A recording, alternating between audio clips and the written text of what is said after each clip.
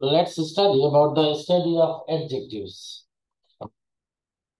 What is adjective? We see the definition, the part of speech that modify the noun or other substantive by limiting, qualifying, or specifying and distinguished in English morphologically by one of several suffixes such as able, O-U-S, A-B-L-E, O-U-S, ER and EST are syntactically by position directly preceding a noun or nominal phrase.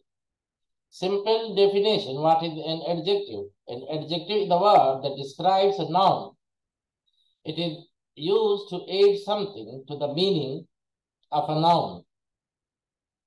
For example, nice, single story, beautiful, round, big. There might be various questions which seek to answers for finding out the adjective. For example, the questions are what kind? Like answer must be given as green, old, round, strong. How much? All.